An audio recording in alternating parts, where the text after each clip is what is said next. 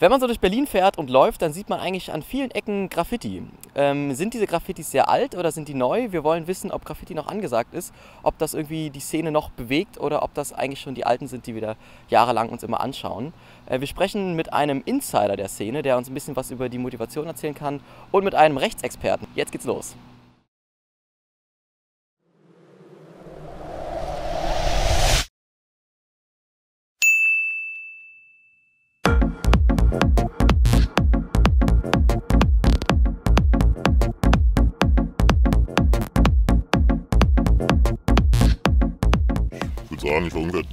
13, als ich mich begann dafür zu interessieren. Ich habe vorher so ein bisschen so Street Art gemacht, also Sachen ausgeschnitten, auf Plakate gesprüht und dann irgendwie verklebt. Später hat mich das einfach irgendwie nicht mehr interessiert. Das ist so in der Mitte der Gesellschaft angekommen. Ich fand es irgendwie einfach nicht mehr interessant und ich fand Sprühen, also Graffiti richtig, irgendwie ein bisschen, sagt man, ein bisschen authentischer. Ich selber fand es eigentlich nur interessant, weil es irgendwie so in klein-klein so eine Gesetzesüberschreitung ist. Fand ich witzig. Ist wenn man so will, irgendwie ja genau eine Revolution, so, aber in ganz kleinem Rahmen. Es gibt auch ähm, sogar ähm, zwei Gesetzestatbestände dazu. Es gibt die einfache Sachbeschädigung, es gibt die gemeinschädliche Sachbeschädigung. Und ähm, man kann sich das auch ganz einfach vorstellen, wenn Sie jetzt eine, einen Kiosk irgendwo besprühen, der schon völlig zugesprüht und zugebombt ist, dann wiegt das vielleicht nicht ganz so schwer für einen Richter, der darüber urteilen soll, wie irgendwie eine alte Sandsteinbrücke, irgendein äh, Denkmal oder ähnliches. Es gibt ja diese Broken Window Theorie, wenn einmal irgendwie irgendjemand was hingemalt hat, hingetaggt hat, wie auch immer, dann können auch alle anderen machen mit. So. Wer ist denn eigentlich in der Regel derjenige, der das zur Anzeige bringt? Das sind die Hausbesitzer, die Hauseigentümer, ähm, die das feststellen, am nächsten Tag die Polizei rufen und sagen, meine Hauswand wurde besprüht. Ähm, und es sind auch Polizeibeamten, die speziell auf Streife gehen ähm, und ähm, das hier in Berlin absuchen ähm, und immer mehr mit ähm, Zuhilfenahme von Überwachungstechnik, sprich ähm, Wärmebildkameras, Helikopter, Drohnen, die dann über äh, Zugbildungsanlagen fliegen, über sogenannte Yards, wo Züge abgestellt sind und so kommt es dann eben auch zur Strafanzeige. Wie kam es überhaupt dazu zu sagen, äh, ich möchte gerne damit Leute unterstützen dabei? Ja.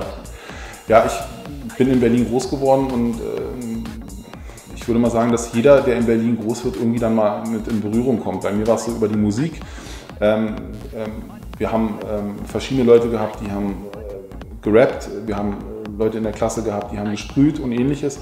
Und man kriegt das so mit und man weiß eigentlich, dass das keine Menschen sind, die irgendjemand vorsätzlich schaden wollen, sondern die sind Künstler, die suchen irgendwo eine Leinwand im Endeffekt. Und äh, das ist dann so, ähm, als ich dann Anwalt war und mit den ersten Fällen in Berührung gekommen bin, einfach gemerkt habe, dass das ähm, mein Ding ist, wo ich, wo ich ein Verständnis für die Szene habe und ich glaube, dass die, die Menschen, die das machen, auch bei mir sehen, dass ich Verständnis für sie habe. Und das ist so der Grund, warum ich das eigentlich mache und auch gerne mache.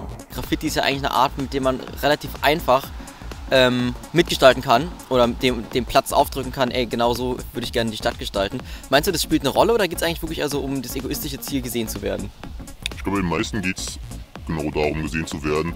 Zumal ja viele, die sozusagen keinen Zugang zu Graffiti haben, die können damit auch nichts anfangen. Die sehen das als Vandalismus. Dieses höher, schneller, weiter Ding, ist es schon relativ stark oder meinst du, es ist eigentlich gar nicht mehr unbedingt so, dass man in Berlin es auch hat, dass die Leute versuchen, sich mit geilen Aktionen zu übertrumpfen?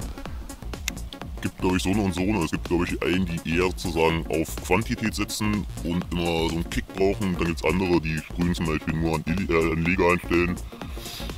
Und die achten dann mehr auf Qualität zum Beispiel.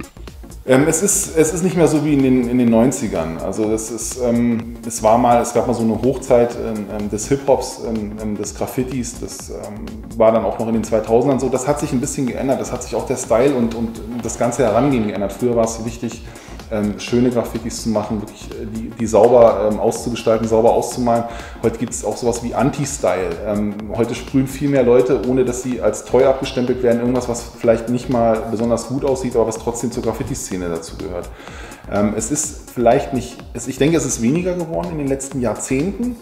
Aktuell würde ich sagen, ist es ein bisschen ähm, mehr geworden, was vielleicht Graffiti fremd ist, zum Beispiel ähm, Fußballfans, also Ultras oder ähnliches, die, die ihren Verein einfach promoten und den überall an, an, die, an die Zufahrtsstraßen einer Stadt hinsprühen. Ich glaube, dass Graffiti ein starkes Nachwuchsproblem hat. Also es gibt nicht mehr so viele, die sprühen, ist meine Wahrnehmung.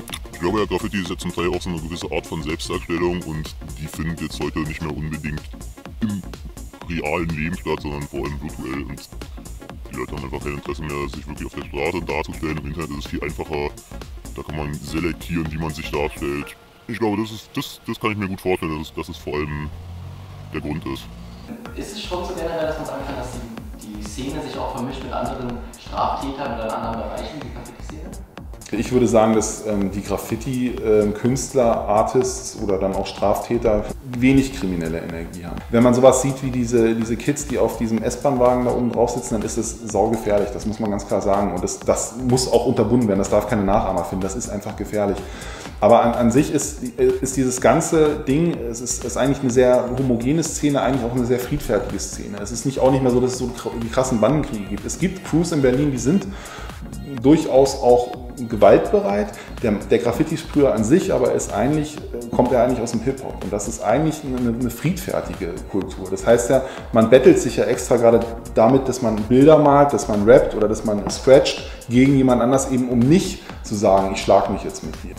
Ähm, wie ist es jetzt, wenn, oft ist es ja doch recht eindeutig, dass es sich eine Straftat handelt bei einem Bombing oder bei einem gesprühten Bild äh, und die kommen jetzt zu Ihnen als Anwalt. Äh, was haben Sie noch für Möglichkeiten, dass man da vielleicht eine mildere Strafe bekommt?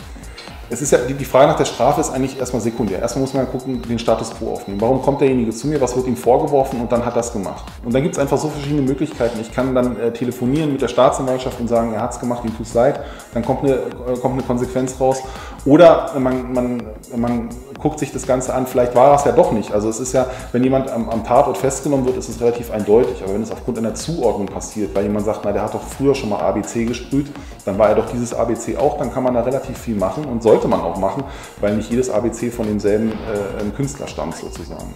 Für mich ist es in den meisten Fällen wirklich Kunst. Ja? Es ist ähm, fast immer leider auch eine Straftat, aber das ändert ja nichts daran, dass es Kunst ist. Und das, das trägt auch zum Image der Stadt mit bei. Es kommen viele Menschen nach Berlin, die wollen Street Art sehen. Die meisten laufen trotzdem natürlich, selbst wenn es aufgehört hat, immer noch mit so einem Blick durch die Stadt und gucken sich jedes Bild an und bewerten das irgendwie so richtig einen Cut machen, dann gar nicht mehr grünes machen. Wirklich die wenigsten. So.